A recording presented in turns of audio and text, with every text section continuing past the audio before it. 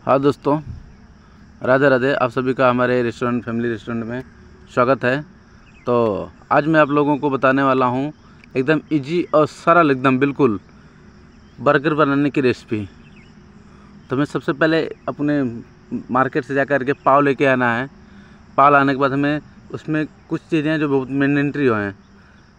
जैसे प्याज हो गया, टमाटर हो गया, खीरा हो गया, ये ज़रूरी होते हैं। तो उसको ला कर के हम प्याज को छीलेंगे, छीलने के बाद में प्याज को पतली पतली से काट लेते हैं और काटने के बाद में टमाटर को भी काट लेते हैं और इसको टमाटर काटने के बाद में हम पाव को जो है और टिकिया को, टिकिया तो हमने ऑलरेडी बना के रखा ही है और पाव भी है मेरे पास में तो पाव और टिकिया को हल्की आँच में उसको धीमी एकदम लो फ्लेम पे हम उसको गर्म करते हैं और धीरे धीरे जैसे ही उसको गर्म करते जाएँगे, वो कड़ा होता जाएगा थोड़ा सा।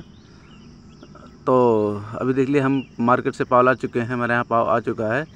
ये पाव आ चुका है, इसको हम बीच से काटेंगे। आधा इधर, आधा उधर। उसके बाद में इसको काटने के बाद में हम लाते हैं टिकिया तो आप देख रहे हैं कि जैसा हम पाव और टिकिया दोनों को धीरे आँच में हम इसको पकाएँगे धीरे धीरे हल्का ऑयल डाल करके, जो भी ऑयल हो सरसों आलू रिफाइंड है, घी घी है, जैसा भी है, जो भी, आप उसको हल्की आँच में डाल करके पाव और टिकिया को पका सकते हैं। तो हम अपने काम को जारी रखे हैं। हमारा टिकिया और पाव पक रहा है। तो आप अपने घर पर भी इसे ट्राई मार सकते हैं। बहुत ही आसान तरीका है, इसमें कुछ एडिशनल नहीं लगना है, सिर्फ़ पाव आपको बाहर से लाना, बाकी सब कुछ तुम्हारे पास ही रहता है। आपके रसोई में हर एक चीज़ें हैं। भाई, आपके पास आलू भी है, ऑयल भी है, और पाव आप मार्केट से मंगा ही सकते हैं। तो दोनों चीज़ों को इकट्ठा करने उसके बाद टमाटर, प्याज, धनिया तो जनरली चीज़ है, कोई भी अपने मार्केट से ला सकता है, फिर पहले से ही होता है सबके घरों में। इसको जितना ही हल्की आँच में और मतलब उतना भी हल्का ना रहे कि तेल ही ना गर्म हो। इतना मतलब रहे कि तेल आसानी से गर्म हो सके और उसके बाद में उसको उसमें हल्का हल्के आंचों में उसको पका जब वो लाल हो जाए दोनों साइड में, तभी उसे हमें उठ, उठाना है वहाँ से। तो अभी जैसे कि हमने फ्लेम को थोड़ा तेज़ कर दिया क्योंकि बहुत ज़्यादा धीमा था, आपको मैंने बताया ही था। अब इसको आप समझिए कितना ध्यान से पका सकते हैं, क्योंकि इसको हमें आँख, आँच पे तो हमने रखा ही है, इसके साथ में इसको हमको पकाना भी है और जलना भी नहीं चाहिए। पकाना भी है और जलना नहीं चाहिए। तो जैसे ज़्यादा धुआँ निकलना, समझ लो नीचे से कुछ दिक्कत कर रहा है तो हमें धुआँ नहीं निकलने देना है उसमें से। अगर धुआँ निकला, समझ लो पाव का ही धुआँ निकल गया। ये फिक्स है। ये गैस को हमने किया बंद। और अब टिकिया पका रहे हैं। हमको लगता है पाव हमारा पक गया है दोनों। अब इसे हम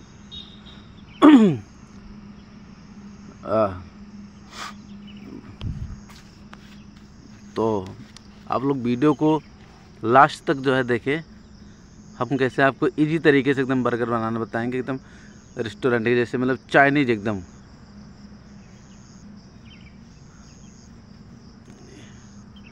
पहले अपने वहाँ पे जहाँ पे हम पाव को बनाते हैं अच्छी तरीके से। अब हम इसमें सबसे पहले हल्का खट्टा सॉस और हल्का मीठा सॉस में डालेंगे। ये रहा मीठा सॉस। देखिए, दिखने में कितना अच्छा लग रहा है। और हम इस पर डालेंगे सबसे पहले प्याज।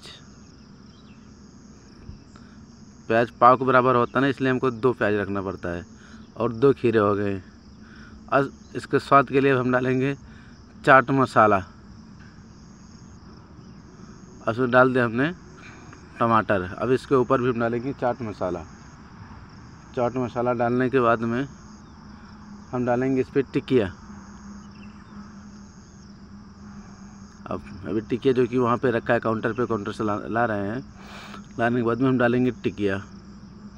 आ जाओ बाबू आ जाओ जाओ जाओ जाओ साला खीरा कौन चुरा रहा है यार? अब चूहे तो चोर है ही ये भी लोग चोर है। वो आ गया टिकिया और अब हम इसमें हम आपको मैं बता दूँ, यहाँ पे मैं चाउमीन डाल के नहीं बनाता हूँ दोस्त। हम यहाँ पे डालते हैं वेज। तो वेज में रहता है बंधा और गाजर। अब इस पर भी हमने डाला चाट मसाला।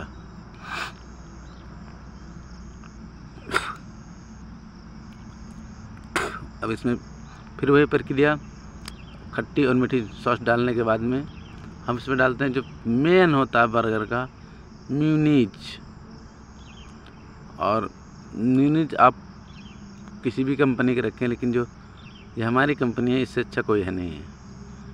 ये टॉप ब्रांड है हमारे यहाँ की।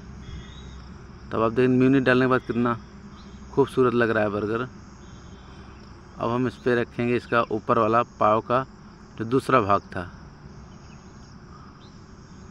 पाव, हमारा जो है वो बन के रेडी हो चुका है, क्या नाम है बर्गर हमारा बन के रेडी हो चुका है। आप देख ही रहे हैं कितना अच्छा लग रहा है। तो यदि किसी भाई को खाना है बर्गर तो आप हमारे राधे कृष्णा फैमिली रेस्टोरेंट में आप विज़िट कर सकते हैं। आपको जो है, एक सेवा का मौका आप लोग ज़रूर दें। आप सभी का हमारे राधे कृष्णा में most welcome thank you love you आप लोग देखिए कि बर्गर हमारा बन के रेडी हो चुका है, दिखने में कितना खूबसूरत लग रहा है। तो आप खुद सोच लीजिए, अगर हम लोग इतना मटेरियल डाले हैं, इतना दिखने में खुशबू लग रहा है, खूबसूरत लग रहा है तो खाने में कितना टेस्टी होगा। आप देख ही रहे हैं। Love you love you love you love you customer हमारा उधर बैठ के वेट कर रहे हैं।